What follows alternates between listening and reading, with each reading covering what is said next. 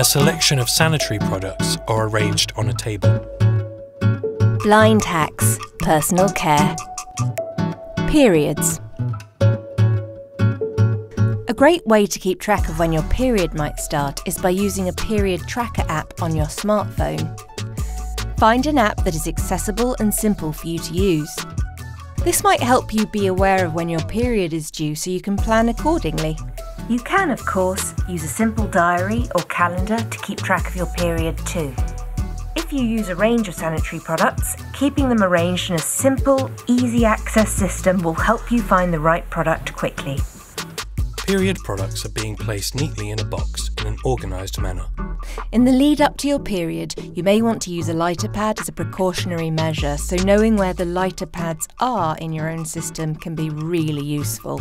Periods hacked. Guide dogs.